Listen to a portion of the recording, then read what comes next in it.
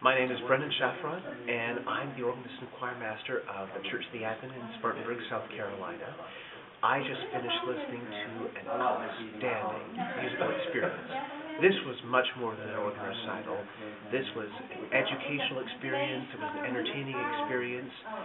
I just heard some of the most beautiful pieces ever rendered on this organ, and it was just great to sit back and hear somebody who really knows her stuff, along with a man like David, who really is passionate about visuals. The two of them work so well together, and for any of you who are watching this, I really recommend that you come here for the next performance of From Sea to Shining Sea.